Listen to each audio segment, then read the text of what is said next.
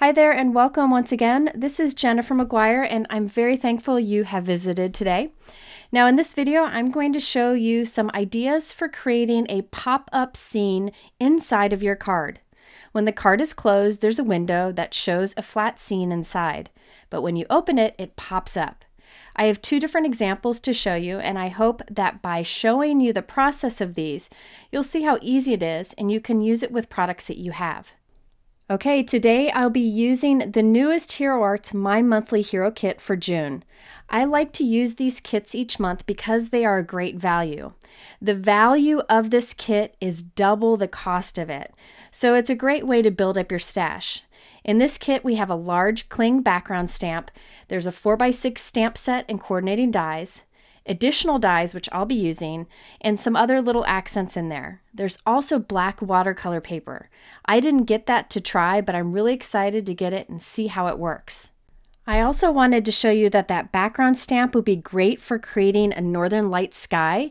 All you have to do is some bright colors, add some dark color over it. Be really cool for techniques, but today I'm not going to do that. I'm going to use it in a very basic way, but I did want to mention it. Now let me show you the other dies in here. I told you there were some standalone dies in there in addition to the coordinating dies. These are the three standalone dies and I'll be using two of these today. Notice how you can kind of build a scene with these, a background scene. They're nice and detailed, which is great because you can create a card very quickly by using these. This is the stamp set that's included in that kit. I just wanted to give you a closer look and you can see how these images go nicely with those dies in the background. Now I'll just be using a sentiment from this set and also the coordinating dies. I'll also be using this new stamp set and coordinating die set that's also available this month. Now I'm going to use the coordinating dies without the stamps, but I like the stamps too. I will use a sentiment too. Now let me show you my first card completed so you can see what direction we're headed. When it's closed from the outside, you just see a window to the inside, but when you open it, it pops up just to create a fun impression. So let's go ahead and get started with this first example and then we'll move on to another. I'm starting with a white note card that is four and a quarter by five and a half and it's side folding. I have a Hero Arts circle die that I'm going to cut from the front of the card. So it'll be a circle window towards the top center. You could use any size or shape die that you want here. After I run it through, I have my circle window. Next, I die cut pieces using some of the dies that I showed you earlier. A lighthouse, some clouds, and I used a sun coordinating die to create light that will look like it's shining from the top of the lighthouse. After I die cut those, I kind of glued them together in a floating scene, which you'll see in a little bit. Next, I wanted to do a bit of stamping in the background there. Now, I'm using the background stamp that's included in the kit. However, mine is clear. If you get the kit, it will be a cling stamp. The reason I got a clear stamp for this video is Hero Arts was closed due to the virus and they hadn't made their cling stamps yet because they make them in-house. Well, now they're being made, so if you get a kit, this will be cling, which is good because that means you'll get a great impression every time. Okay, so what I'm going to do is stamp this pretend stamp onto my cardstock. And this is four and a quarter by five and a half Hero Arts cardstock. And I'm stamping with Hero Arts Unicorn White Pigment Ink. You'll notice that I taped this stamp into my MISTI. I just did that so I didn't have to remove the release paper, which causes the, the plastic release paper to kind of warp. So I just taped it in there and it works just fine and I can easily remove it when I'm done. But again, if you get the kit, this will be a cling stamp. Okay, so there's a cool like northern light sky that you could do some fun inking with, but I'm just using it for an interesting sky background. Okay, so I heat set that so I wouldn't smear it, and now it's time to do that pop-up feature. For this, I have a strip of cardstock that's about a half inch wide. And then I have my little arrangement of die cuts here. I have the lighthouse, glued to it I have the little sun for the top of the lighthouse, and then a cloud. Now on the bottom of this lighthouse die cut, I'm putting some strong liquid adhesive, that's Gina K Connect, and I'm gluing it to the end of my cardstock strip. This strip will allow the feature to pop up. So I'm going to trim the excess away so this will just look like water coming up to the rocks of the lighthouse. There are many ways you could use this die cut. This is just what made sense to me at the time. So I'm going to kind of cut this at a wave here so it looks more like ocean. And there you have the water leading up to it. And by the way, I just arranged some die cuts to be glued together here. You could have any die cuts that you want to do this pop-up feature. Okay, so now what we're going to do is create a fold on here so that it will pop up when we open it. So I'm going to do a fold right there at the end of my lighthouse die cut. And I'm just going to reinforce that. And then I'll cut all that excess cardstock off and just leave about a half inch of a flap there. You could measure it out if you want, but I'm just going to eyeball it here. And this is what we'll glue to our card to create the pop-up. Before we glue that in place, let's finish the card itself. I'm gluing our stamped panel to the inside of the card so that it shows through when the card is closed. I also decided to stamp my greeting on the front of the card. And I'm glad I remembered it to do it at this point because it's easier to stamp before you glue the pop-up feature in the inside. I used my Hero Arts MISTI stamping tool to stamp that, but you could definitely use an acrylic block. And that sentiment is from the My Monthly Hero kit. To add the pop-up feature inside, I'm putting strong adhesive on this little flap here. You can use strong double-sided tape or liquid adhesive. And I'm going to put the end of the flap right up against the inside crease of the card and then close it down, making sure I like what it looks like through the window. While that dries, let's create the other half of our pop-up feature. This is a piece of cardstock that is a half inch by two and a half inches. And I'm going to score at every half inch. So the first one's at a half inch, one inch, one and a half, and two. I'm going to fold this up to form a cube. Creating a little cardstock cube like this is a very uh, frequent way to create a pop-up feature in a card. Currently, our lighthouse piece just kind of flaps open when you open up the card. This will ground it and allow it to pop up nicely. So I'm putting adhesive on one of the flaps and then wrapping the other flap around it. And then I'm going to give that a few minutes to dry. While that little cube dries, let's go ahead and create a frame for the front of our card. I like to do one thing while another part dries.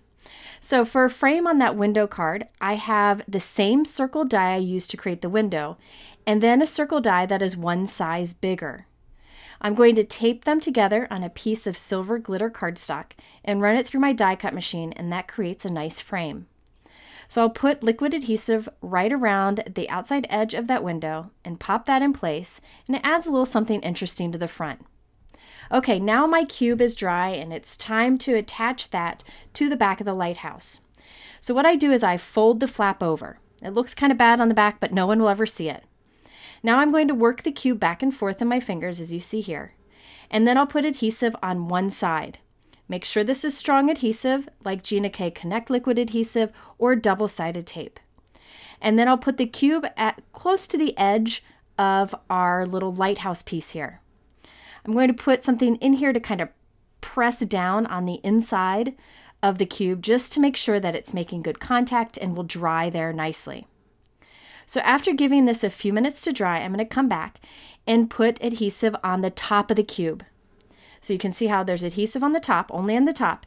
Then I'm going to flatten it towards the inside of the card, close the card on it, and hold it there. You want to give that about five minutes to dry. And then what happens is you get this nice controlled pop-up feature inside of the card. If you wanted to see that in uh, action again, don't worry, on the next card I'll show it again. Now I did decide that I didn't want the stamping on the bottom of the card below the lighthouse. I don't know why. I just wanted to cover up that white stamping. That's where my personal greeting will go. So I'm cutting another piece of cardstock here that will just uh, fit inside that bottom portion and I can glue it right on top. You really could leave the stamping and write on top of it, but I don't know. I just decided to add this in the inside. By the way, all the cardstocks that I'm using today are from the Hero Arts cardstock collection, but you could use anything you have. I will say that for the die cuts that you have pop up, like the lighthouse and the clouds and such, make sure that's from a heavyweight cardstock. This cardstock from Hero Arts is definitely heavyweight enough. If you feel yours is a little too lightweight, you can just die cut two of each die cuts and glue it together, and that will make it more stable. To build on the scenes, I'm adding some tiny die cut birds from the Hero Arts Cloudy Sky Scene die set. These little birds are the perfect little accent to scenes. Instead of adding gems or anything else, it's just a little pop that completes it. So I glued those in place and then I used my Aqua Shimmer pen to add a little bit of shimmer to the light coming out from the lighthouse. So here is a look at the completed card. You can see it flattens nicely to go inside an envelope. When you open it, you see the scene on the inside but have no idea that it's a pop-up card. That silver glitter frame just makes it a little more special. Then when you open the card, the scene pops up and there's plenty of room on the bottom to write your personal message. You could add more to the scene inside of the card. You could have more things pop up. I tried to go with simple designs today that were kind of monochromatic, all the same colors of cardstock, but you could color this to look realistic. The sky's the limit. Let's go ahead and create another card. This one is just a variation of the first, but I feel like the more you see this in action, the easier it is to create. Okay, with this one, I decided to use Hero, Art Blues, Hero Arts blue cardstock and then use this little scene with the cabin. Okay, I once again have a side folding four and a quarter by five and a half inch white note card. And this time I'm going to create a square window using a Hero Arts square infinity die. And I'm trying to center it there towards the top. I'll then open up my card and run it through my die cut machine to create the window. You can see I've also already stamped on some blue cardstock that uh, Northern Lights scene, and I did it once again with white pigment ink. This time I decided to glue it only on the top portion of the card so that I have a white area below it to write my personal message. I think I like this look better than the one I did in the last card, but thankfully I did two cards so I know what I'll like if I want to create more in the future. Now notice that this border die cut is too long. When I close the card, it will stick out the side. So I need to trim it a bit. You want to make sure that the die cut doesn't hang out when the card is closed. So for this one, I'm going to give it a little haircut there on the right. Just trim a little bit of it off, just to make it a bit shorter. It doesn't make a big difference, but a little bit. Then I need to cut some off on the left. So I'm putting it to the right hand edge there. See how it's all the way up to the right there. And then I need to cut my die cut so it's about a half inch from the crease of the note card. So about a half inch there. I'm making a little mark here with my poker tool. It's just, instead of using a pencil, it's just easier. And then I can take this to my trimmer and cut off that bit there. So basically, this piece needs to be about three and three quarter inches wide and no wider. Okay, so now when I put this in the inside, see how it's about a half inch short from the crease of the card and doesn't hang off on the right. Okay, so now it's time to add to this to do the pop-up feature. So I'm going to take this and glue it onto a piece of blue cardstock. This time I'm going to go ahead and do the fold line over on the side, that half inch flap. So I got the half inch flap there and I'm going to glue my die cut right up to the edge of this crease, but not on the flap itself. Okay, so I'm going to put adhesive on the back of this. There are many ways you can do this, by the way, but I found this was the easiest. All you need to do is add a half inch flap on the side of your die cut, however you please. All right, so I'm gluing that right up against the crease. And then before that dries, I'm going to push my scissors in there and cut away the blue that's above the die cut and to the right of the die cut. So watch, I'll just push my scissors in there, cut away that that's above the tree line, just so that it looks like it's kind of floating there when we add this. I'll cut away this little bit down here and then the part on the right. So this is nice because it allows that blue to show through on that cabin and the other little cuts in the die cut. Now it's time to add more to our little scene here. I'm just doing this on the blue paper so you can see it better than the black work surface. So I'm going to add a couple clouds here, and then I'm going to add a moon. The clouds are the coordinating dies to the stamp set that I showed you earlier, and the moon is part of the kit. So I'm putting adhesive on the back of those tree tops on the left, and I'll have my cloud floating up there. Then I'm going to make the other cloud float above the treetops to the right. Now notice it doesn't take much to attach these together. I'm just gluing that tiny treetop there. But since I'm using strong adhesive and heavyweight cardstock, it'll be fine. Now I'm going to take a moon that I cut from some shimmer silver cardstock I found in my scrap drawer, and I'm going to connect those clouds. So you can see how that's all held together there. Basically, you can have any die cuts you want, just have them overlap so you create the scene. Okay, now it's time to stamp on the front of our card. So I decided to stamp You're My Moon and Stars. There are many different sentiments you could do for this, but I thought this was perfect. Okay, so now it's time to attach the pop-up scene. So I have that little half inch flap sticking out on the left there. I'm going to put my adhesive on that, put a good amount too. Not too much that it squeezes out, but good enough that it won't come undone. Put it right into the crease of the card and then close it so that you see the scene when you look through the front. Now I'm going to put my phone on there as something heavy to hold it while it dries. Once again, I have a piece of cardstock that is a half inch by two and a half inches, and I scored it every half inch. You could make this bigger if you wanted to, but I like this small size. Once again, I'll glue the two ends together, and this is just forming a little cube that is great for a pop-up feature. Now I'm going to give that a little bit of time to dry. I like to give just a few minutes for all these things to dry as we go. Then on one side of the cube, I'm putting adhesive and putting it towards the end of this uh, little scene flap. Then, once again, I'll put something in there to press it down just to be sure it's making good contact while it dries. While that dries, let's create a frame for the front of our card. Using the same square die that I used to create the window, I cut from gray cardstock. I then took a square die that is one size bigger, and I'm going to line that up with the negative space, run that through my die cut machine, and there we have a thin frame. It's just another way to create a frame to go around the window and I'll just add that with liquid adhesive. Things like this add a lot to a very simple card. Okay, now it's time to attach our flap. So on the top of our cube here, I'm putting adhesive. I'll fold that cube down towards the crease of the card, towards the inside of the card. Then, holding it there, I'll close the card on it and put something heavy on there while it dries. You want to make sure this one doesn't come undone as it dries. Okay, so now I wanted to add some stars to our scene. There are star die cuts included in the sets I've shown you, but I wanted to use something sparkly.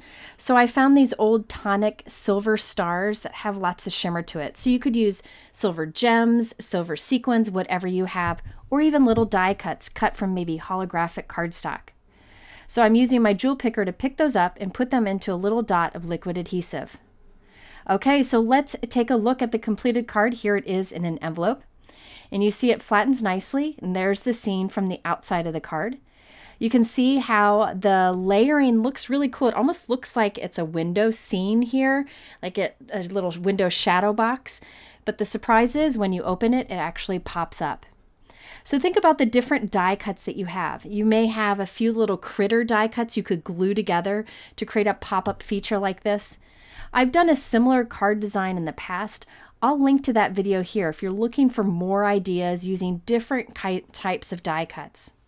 All right, if you're interested in these supplies, they are linked below in my YouTube description. And here in the middle, I have a couple other videos, including the one I just mentioned, for you to check out.